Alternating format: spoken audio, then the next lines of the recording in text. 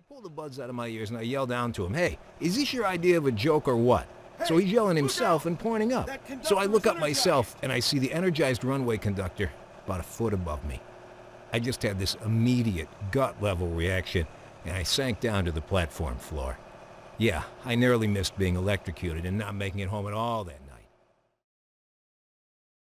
There are a variety of lifts with characteristics that may make them more suitable for certain types of work. Click each lift to see how it works and the type of work for which it may be best suited. Please note that these are the formal names for the lifts. Other names workers may use are boom.